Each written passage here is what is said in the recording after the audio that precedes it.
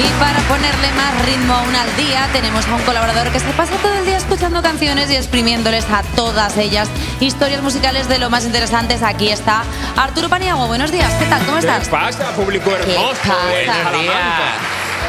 de primero de colaborador a pelotear al público. Hombre, pero es que así te ganas al público y sabes que te van a vitorear todo el rato. Mira, Salamanca.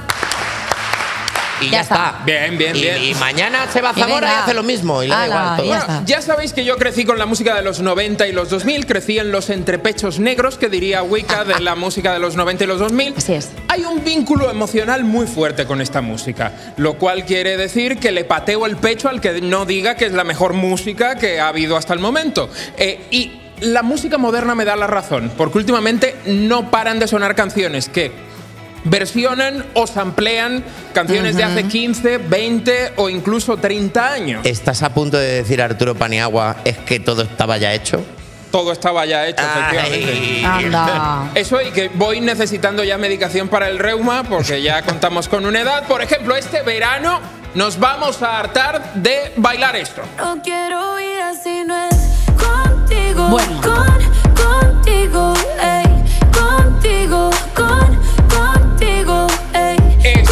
Contigo, la nueva canción de Carol G, producida por Tiesto, ¿vale? Eh, ¿Pero ¿y esto qué es? No, es un, es un chiste, es un chiste de DJ. Tiesto, el señor este, hecho. Bueno, eh, esto fue un hit hace 17 años. Es que claro, es que es una estafa. No se perreaba, pero sonaba así. You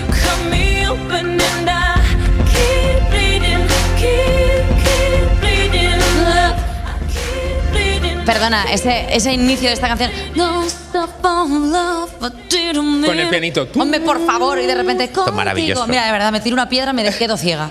Ble- Bleeding Love fue la canción que hizo famosísima en todo el mundo a la británica Leona Lewis. Ella fue la ganadora de la tercera edición de X Factor en Inglaterra, aunque la canción la compuso Ryan Tedder, este muchacho de One Republic. It's too late to apologize. Sí. Eh, eh. Bueno, ese era Timbaland, pero bueno, era ese. Eh, tras esta canción, él también compuso Halo para Beyoncé. Sí, jolín. Joder, el tío. Rumor Has It para Adele o Burn para Ellie Golding. Vamos, que sin Ryan Tedder aquí en Europa FM nos quedaríamos sin la mitad de la música. No tenemos nada. Y luego Leona Lewis, te digo una cosa, hizo el Bleeding Love y eh, eh, ya está. Sí. Bueno, Bueno, ya One Hit. Wonder. Tiene alguna más, pero esta Una fue más. la que- como la más conocida. ¿Contigo o Bleeding Love? ¿Con cuál os quedáis? y Bleeding Love. Bleeding Love. Vale. Sin duda. Os Sin sigo lugar a poniendo a prueba. Esta Venga. es la versión nueva. Cause I'm good, yeah, I'm feeling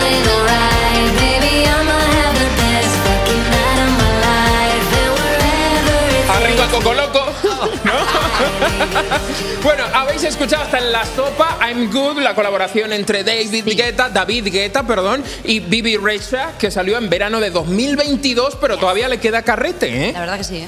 Pero más de un millennial, más de un yayo joven, eh, recordará mucho mejor esta melodía.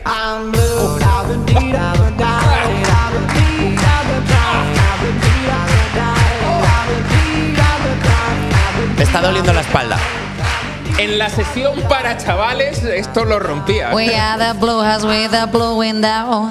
Bueno, esto era Eras de mío, sí. eh, Eiffel 65, que eran tres DJs italianos, Jeffrey J, Mauricio Lovina y Gabri Ponte, que son absolutas Son estrellas. Los pilares de. eh, eh, Los padres de la Constitución. Los bueno, padres de la constitución de la fiesta Perdona, nuestra. Montesquieu, Rousseau y Voltaire. Son, son ellos. Así es. No le busqué mucho sentido a la canción porque ellos dicen que primero salió la melodía y dijeron, vamos a hacer una letra cualquiera que no tenga sentido. A día de hoy la harían con inteligencia artificial. ¿Original o sample? En la original, La perdóname, original. porque tenía un videoclip, si os acordáis, que era un muñeco azul en 3D que lo hicieron con el Paint, que si eso no tiene mérito, que vamos, dime, ya me dirás. ¿Cómo no voy a coger esta canción si la hice en tu cara me suena? Ah, mira. Yo fui el calvo de Eiffel. Ah, muy bien. Claro, es que a veces se os olvida. Sí. Menos mal, ¿no? Bueno, bueno, depende, depende del día. Bueno, resulta que David Guetta es eh, experto en asaltar tumbas musicales, le gusta muchísimo samplear. El Por ejemplo, profanador. últimamente lo Va, ha hecho se, así. le, se le ve con la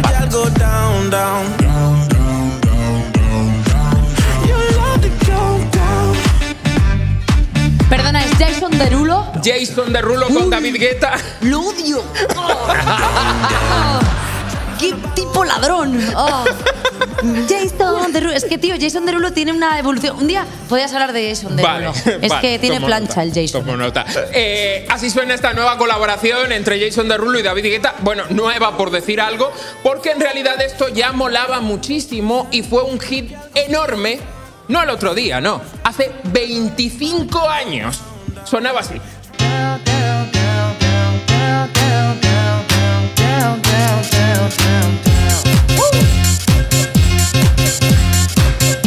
Mira, la gente se viene arriba. Sí, pero mira, mira la gente joven diciendo, mira esos viejos bailando. Claro, como diciendo esto que. Míralos, a ver si les dan Como en las bodas, ¿no? Cuando A ver si les dan el 15 cervical a las momias. Mirándonos como si esto fuera un paso doble, igual. Está- de Paul Johnson es quien llevaba esta canción, Get Get Down. Eh, era un DJ muy reconocido dentro del mundo del house. Le tenían como referencia, por ejemplo, Daft Punk.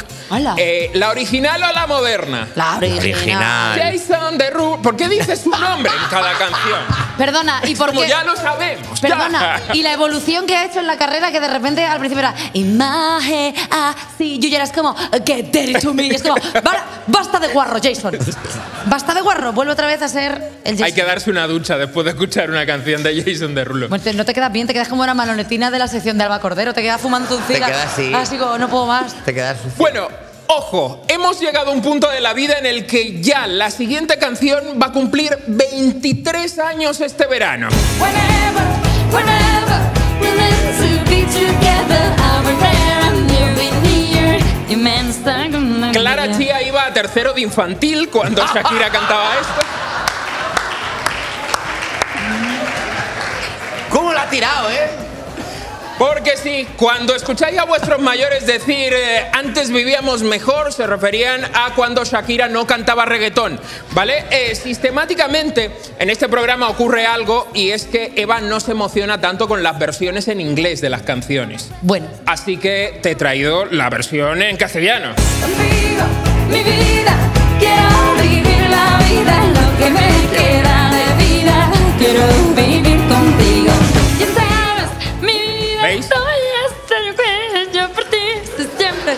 es difícil, es un agudo difícil y es la voz de Shakira, no me juzguéis. Así mejor, ¿no? Eh, sí, hombre. Es mejor en. La leche. Ojo, la versión en inglés la compuso Gloria Estefan, que no es algo que sepa mucha gente. El Whenever, Wherever. El Yerololololés de Gloria Estefan. Sí, la versión en inglés. Ah, vale, vale, vale. Solo la versión en inglés. Bueno, año 2024, atención. ¿Qué?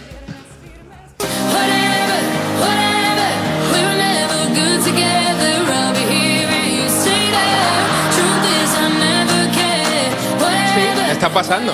¿Esto de quién es? Eva Max y Caigo. ¡No! No, caigo, no. Pues ha caído. Sí. Ahora Han caigo. cometido este sacrilegio. eh, han arrasado esta tumba cuya lápida pone suerte que mis pechos sean pequeños y no los confundas con montañas. ¿Os quedáis con la original o con la moderna? O sea, quiero decir, es que no hay, no hay tu tía, o sea, es la original, o sea, es que ni siquiera han mantenido, es que no han mantenido ni el estilo musical. Ojo, hay canciones que se han sampleado tantas veces que prácticamente se ha borrado el recuerdo de la original. En 1998 el grupo holandés Alice DJ se lució con esto.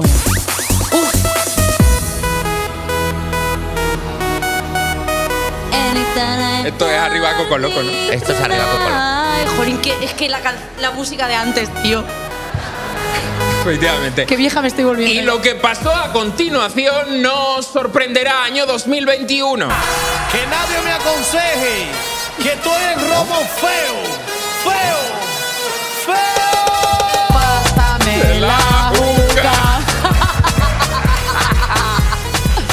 A ver, quiero decir, Tienes ahí un guilty pleasure. Están bien las dos.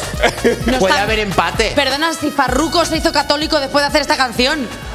¿Cómo va a estar bien? Dijo, no, no, no, no me pases nada. Dijo, me he pasado. El año pasado también cayeron ahí Nicki Minaj y Kim Petras.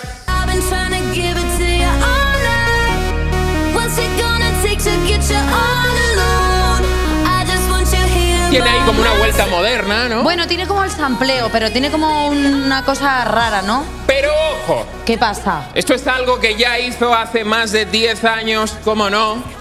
David Guetta. Work hard, play hard, work hard, play hard, we work hard Es que esta nos gusta también un poco, ¿eh? Mira que David Guetta se caracteriza por a veces hacer un poco de pickpocket, pero en este caso nos gusta un poco. Eh, Arturo Paniagua, muchísimas gracias por traernos pues un poco de cultura a este lugar, porque es que al final